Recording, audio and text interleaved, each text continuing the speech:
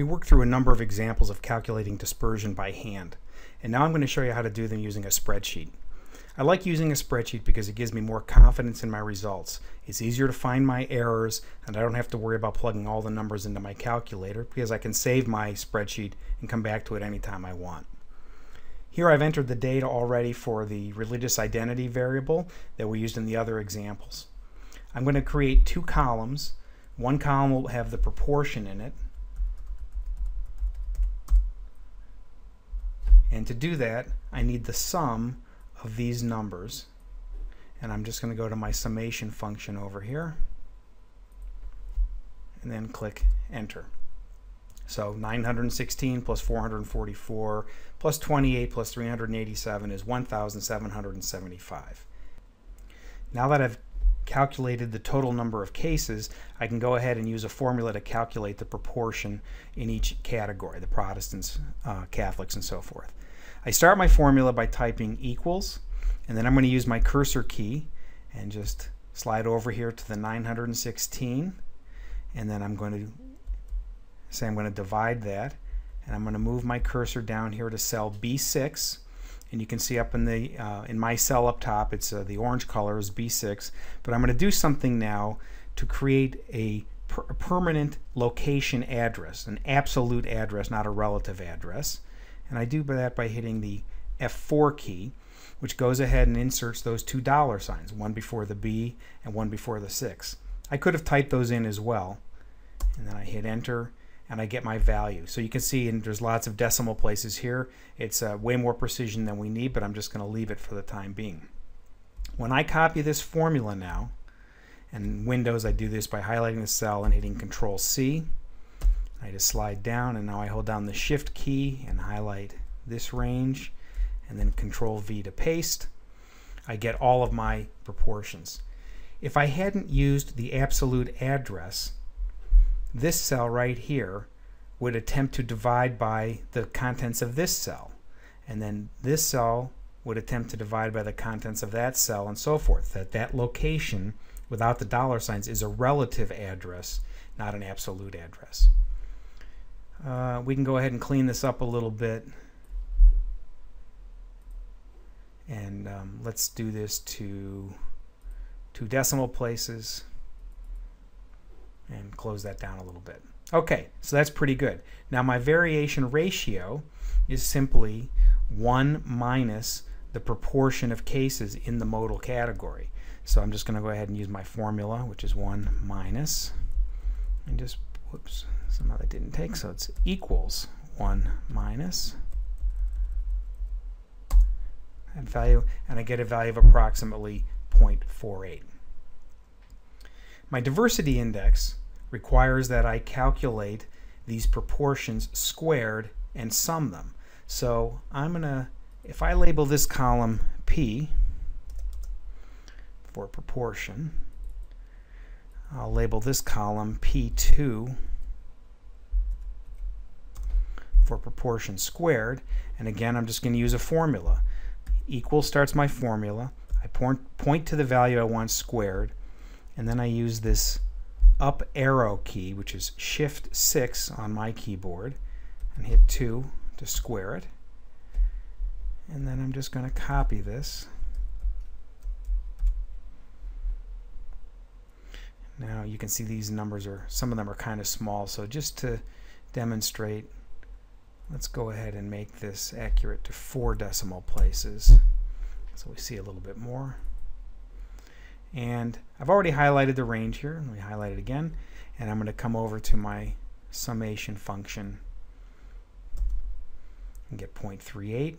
And our diversity index now is equal to 1 minus, I forgot to, forgot to type the equal sign, that value. It's approximately 0.62. The interquartile variation uses that diversity index, the 0.62, but it weights it by k divided by k minus 1.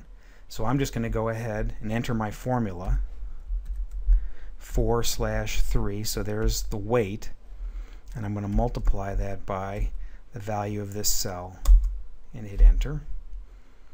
And there's my value. Variation ratio 0.48, diversity index 0.62, interquartile variation 0.83, my preferred measure. I'm just going to come over now and slide to the next workbook to show you the same information. I've organized it a little bit differently so I could also show um, the frequency histogram in this window. And you can see this would be a great graphic to turn in with a paper along with these particular statistics are primarily the IQV. Here I've entered the data already for the number of children for these 25 respondents and we're going to calculate the variance and then the standard deviation and then I'm going to show you another way to use functions to be able to do that that are built right into the Google Docs spreadsheet. The first thing we need is the average of these numbers.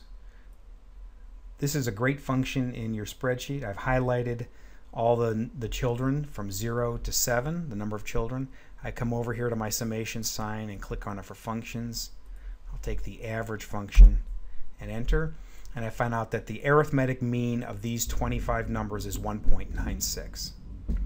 Now I can go ahead and start calculating what I need for my variance, which is going to be, which remember is y minus y bar squared.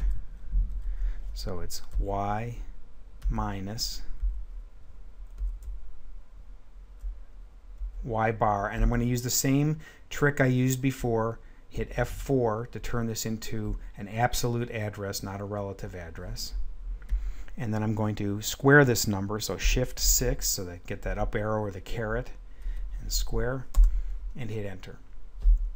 I can now copy this formula, so I highlight the cell, control C, highlight the range I want to copy to, control V, and there's all my numbers. And I need the sum of these numbers. So I highlight the range and I come over here and just click on sum and enter. So there's the numerator for my variance. I'm just going to come up here and type in var equals and it's going to be equal to my formula will be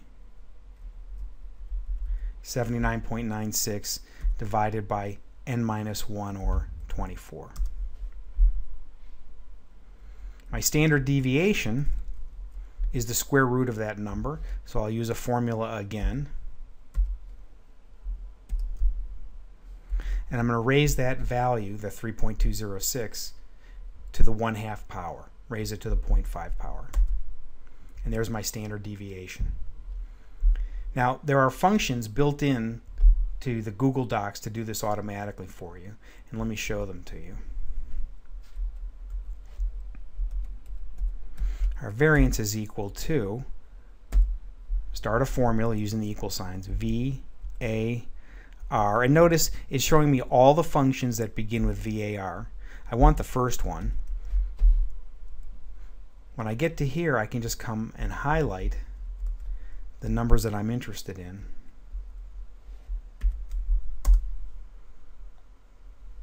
And you can see I get the same value I got before. And there's also a function for the standard deviation. STDEV. Again, I'll highlight these numbers.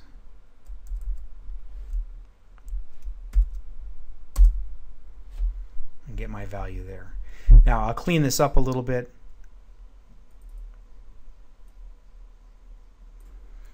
We probably can use these to two decimals and close that down a little bit. And so here we have in this range up here our variance and our standard deviation. Very easy to calculate with a spreadsheet, easy to check for errors, and now you've learned how to use some of these functions. There's a lot of statistical functions built into these spreadsheets. They're a real good shortcut, so you don't have to go to all the work that we did on the left and all these formulas and copying to calculate these values. You can go right to your spreadsheet and uh, for a range of numbers, calculate the mean, variance, and standard deviation.